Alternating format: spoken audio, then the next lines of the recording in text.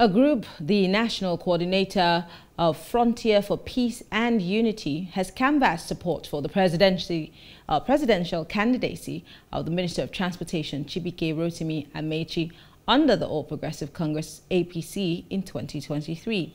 Its national coordinator, Ikalama Owadiktorusinya, uh, stated that the group had adopted Amaechi after consulting widely with leaders, youth and other stakeholders in the South-South. Amaechi is a former two-term governor of River State and has not officially, officially, I beg your pardon, declared interest in contesting for the presidential office in the next general election. The group stated that the youths have agreed that the next governor should emerge from a riverine area, particularly of the Kalabari extraction, well, joining us to discuss this is Enefa Georgewill. He's the chairman River State Civil Society Organizations and Sogbeye Eli, a legal practitioner and a member of the All Progressive Congress. Thank you very much, gentlemen, for joining us. Yeah, thanks for having me. It's all in the pleasure. Great. Um, Sogbeye, because you are a member of the APC, I'm trying to understand. Um, you the, the, the, the, minister hasn't come out in any way to say, I'm interested in running for presidency. Um, we obviously know um, that there are many people who are interested uh, in running for the presidency in the All Progressive Congress. Why the push for him to run for office? Uh, well, I, I, want to align myself with those who are doing so, uh, given his antecedents uh, in, in public offices from speakership of the State Assembly for eight years, where I also double as conference or speakers chairman across the country and as governor of River State for seven years, seven months after the Supreme Court judgment of October 25, 2007, and then double as Governors Forum uh, chairman. And then again, furthermore, as a Honorable Minister for Transportation since 2015 November, is one of those um, shining lights of this administration. And uh, he has the drive, he has the vision, he has the impetus, he has the presence of mind, has the health, he has the age, he has exposure inside to give Nigeria the leadership he deserves. So why not? I, I, I kind of agree with those arguments are arguing to run because uh, we must move forward and consolidate on the Buhari years. Because the person has been a two-time governor and has led the Governors Forum, now a minister, um, does that really qualify the person to lead a nation? Well, I, I mentioned national offices he held while he was speaker or governor and now as a minister. Is is in this dispensation probably one of the most exposed Nigerians to the statistics of the federation. Is been in this democracy from the First Republic consistently, so he will know the issues.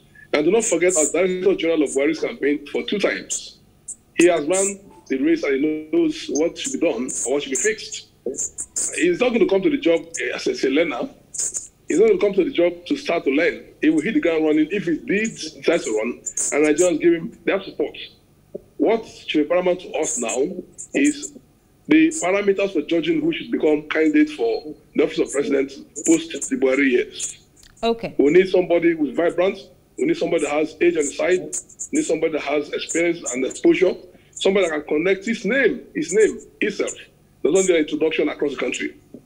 Okay. That's the kind of man we want now. And above all, we're talking about this president will be outgoing in 2023 and sign the not too young to run bill. What does that mean? A principle, President Biden himself believes in the paradigm shift post his years. Are you insinuating that the minister is, is young in that in the term of not too young to run? Because I, if I remember, that was uh, an opening well, for well, young that, people that, to that come law. onto the platform, not necessarily people the minister's age, except you are. No, that law, that law does say um, those who are above um, 50 should not run. Not, not young to run law simply allows even those who are younger than that age, those in their 20s and 30s, provided they meet the constitutional requirements, they should come out and run. Not should buy them. And of course, all of those um, um, hurdles that political parties put before aspirants who are discouraged on account of maybe cost of funds and all that are set aside. But basically, I'm simply applying that principle that this administration cleared the roads for young people to run. It presupposes okay. that the president himself believes that going forward, that young dynamism should come into play in governance.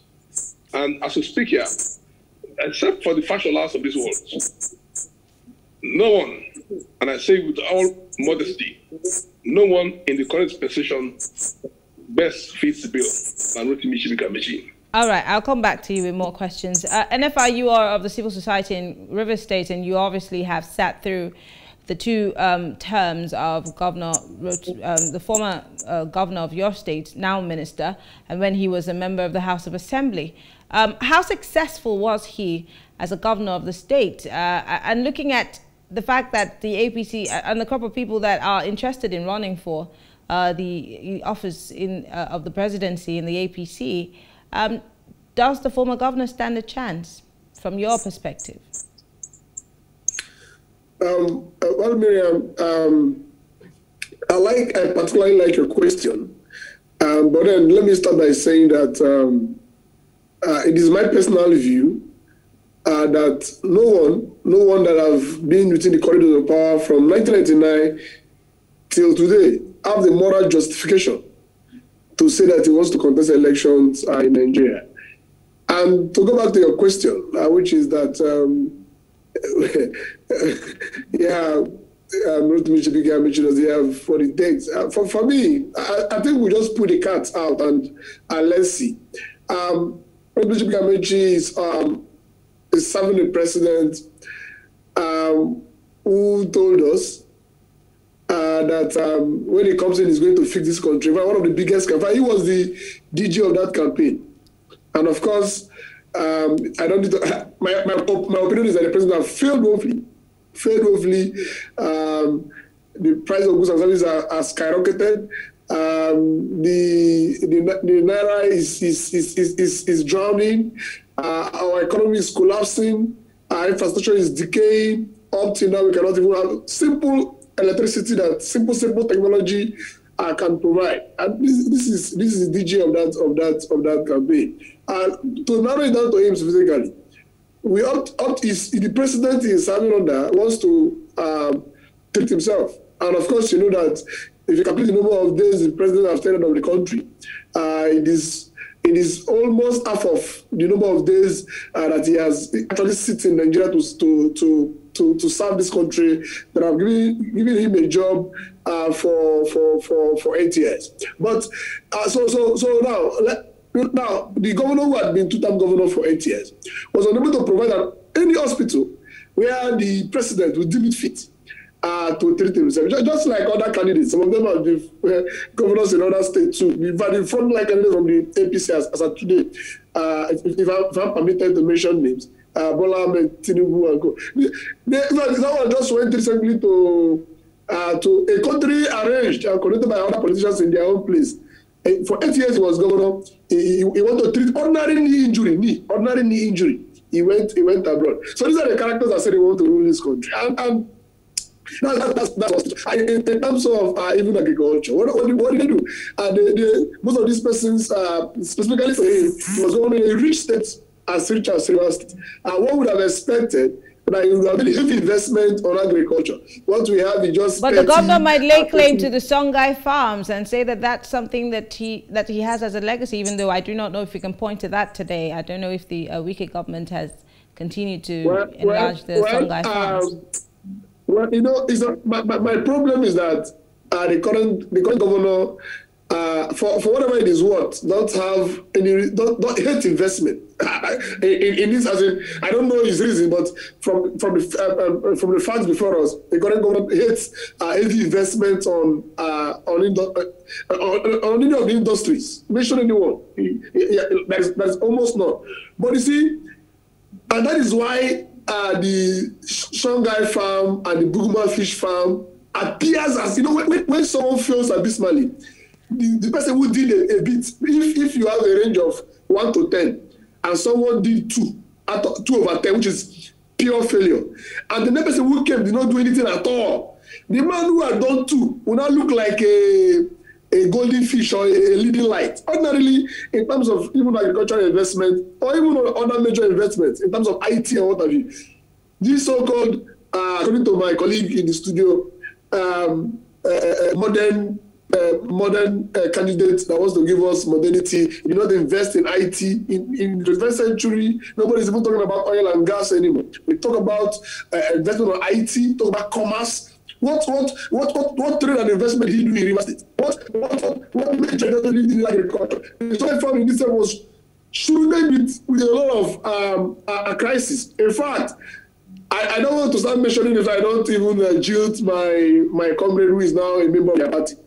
We were part of, but one of our biggest campaign under this regime was that we are demanding that that farm should not stand, should, should not stand because our community people were cheated, community were cheated, community women and civil society were, were protesting. So you're telling me, in all of the things that you're saying, you're saying that you're saying that the minister, the honourable minister, is not fit to run for the office of the president. yeah, yeah. Yes, and that even most of the, his contemporaries in the two major political problems we have in this country uh, that have been around power since 1999, they should tell us that what they have done. Up to today, there is nowhere, there is no state in Rivers State do not have public public uh, water. I went to Rwanda. You you drink water from from anywhere on the road, public water. These people, these are we are talking about characters that couldn't provide us public water public water. Okay let's say that uh, by our laws uh, there's certain there's certain degree of um, a voltage of uh, electricity that the state is limited uh, to produce. Why can't the governor when he was governor why can't he uh, arrange with local government chairmen and create small small dams small eh, to, to, the first century we have a lot of technology where you can Wait. get small uh, uh, use wind what? use uh, uh, uh, uh water use water. We're almost out of time. We're almost out of time in Enefa so I'm just going to quickly ask um, so get any of these things from these so-called modern people. Okay. all of them should just should just leave. Should just leave. Not have, not have competence here. Okay you're taking a jab at all the people who are trying to run for office this time. Um, so wait I'm just going to give you the last word here because we're out of time. Do you have a response for um, Enefa? I think Enefa is one of the problems I have. Uh, the civil society groups, I think, how could a man come on air and say, from 1999 to now, nobody's qualified to run office? where are you going to put that experience to? When they throw them out, where are you going to start from? And I would put Enefa in the know that Dr. John Kayode Fayemi Are you still there, Sogbeye? Oh, I think we have a problem with that connection. Uh, we're actually almost out of time, so I, want to thank you both gentlemen. Unfortunately, time is not on our side. Sogbeye Eli is a legal practitioner and a member of the APC, and uh, Nefa Georgewill is of the civil society organizations. Thank you very much for speaking with us. I wish you had more time to deal with this issue. All right. This time this time, Mrs. Thank you. Thank you, gentlemen. We have to go. Uh, well, thank you, everybody, for staying with us. We appreciate your thoughts and your comments. Don't forget, we want to hear from you on our YouTube channel at Plus TV Africa and Plus TV Africa Lifestyle. But before we go, let's take a break and see what Nigerians have to say about Rotimi Amaechi running for presidency come 2023. And after that, I'll be saying my goodbyes.